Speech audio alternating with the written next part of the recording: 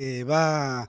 va en línea con, todo lo realizado desde el 10 de diciembre del año anterior cuando, cuando se asumió y lógicamente se tomó el compromiso de apoyar este, fuertemente la, producción frutícola de todo el Alto Valle de, Río Negro, que, lógicamente atraviesa por este, periodos estacionales, este, algunos muy buenos, otros muy malos, y bueno, el Estado provincial tiene que estar presente justamente, y bueno, este, razones climáticas este, ameritaron que hagamos una modificatoria a la ley 4581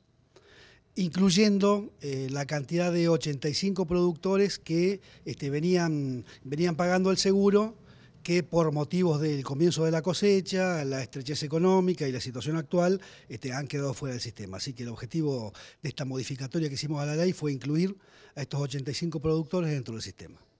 ¿Alguna otra aclaración respecto de los alcances de esta norma? Esta norma la va a poner en práctica la Secretaría de Fruticultura y la ha trabajado este, este proyecto, si bien este, está realizado por el Ejecutivo Provincial, ha sido consensuado con las cámaras, con la, con la federación misma y con los productores afectados. Así que es una norma este, que viene trabajándose